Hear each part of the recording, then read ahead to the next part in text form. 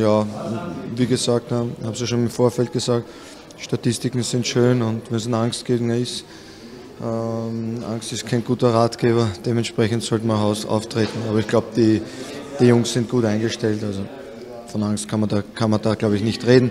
Ähm, reden schätze ich ein als, als zweikampfstarke Truppe, als kompakte Mannschaft, die, die extrem sicher unangenehm zu bespielen sind. Ja. Das, das, spielt keine Rolle. Wir schauen nicht auf die Tabelle. Wir haben einen, wir haben einen Weg äh, eingeschlagen, sage ich mal. An, an dem arbeiten wir und äh, da macht der Tabellenplatz des Gegners äh, nicht unbedingt, äh, also der sollte uns da nicht unbedingt aus der Ruhe bringen. Ja, Kevin, 2 zu 2 gegen BSV Reden. Ähm, ja, was war los? Warum hat man trotz zweifacher Führung am Ende nur einen Punkt geholt? Ja, ich glaube, dass ähm, wir auf einen spielstarken Gegner getroffen sind. Äh, der Tabellenstand lügt, finde ich, weil die Jungs, die waren richtig gut, äh, haben die Kuh gut laufen lassen und auf, selbst auf dem Boden war das, äh, war das gut von denen und äh, am Ende müssen wir halt mit dem Punkt zufrieden sein.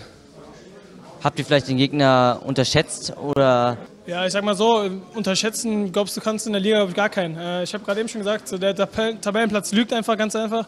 Die Jungs, die waren gut, wir wussten, was uns auf uns zukommt, dass sie vorne spielerisch starke Jungs haben. Und am Ende sieht man ja, was dann dabei rausgekommen ist. Trotzdem zufrieden mit der Ausbeute, die man in diesem Jahr zu Hause geholt hat? Ja, definitiv. Wir haben uns so eine kleine Serie aufgebaut, zu Hause vor allem.